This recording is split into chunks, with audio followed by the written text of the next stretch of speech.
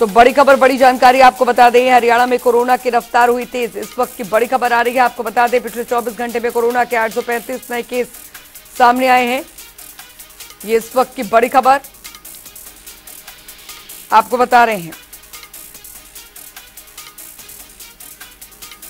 गुरुग्राम में सबसे ज़्यादा 404 नए मामले, हरियाणा में कोरोना की रफ्तार हुई तेज। इस वक्त की बड़ी खबर आ रही है, पिछले 24 घंटे में कोरोना के 835 नए केस निकलकर सामने आए हैं। 3,210 एक्टिव केस संक्रमण दर आठ दशमलव तीन सात प्रतिशत रह गई है। इस हार में कोरोना से एक शख्स की मौत भी हुई है।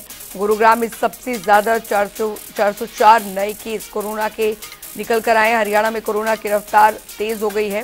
तो पिछले 24 घंटे में कोरोना के 835 नए केस निकलकर सामने आए हैं ये इस वक्त की बड़ी खबर आपको बता रहे हैं। तो लगातार कोरोना के बढ़ते मामले और संक्रमण दर जिस तेज़ी के साथ बढ़ रहा है, उसने एक बार फिर ये संकेत दे दिए हैं कि खतरा भी टला नहीं है। लगातार कोरोना के बढ़ते मामले यहाँ पर इस बात की ओर संकेत कर रहे हैं कि लापरवाही अगर और बढ़ती गई तो फिर स्थिति और भी ज़्यादा खराब हो सकती है और सबसे ज़्यादा गुरुग्राम में मामले कोरोना के 404 नए सामने आए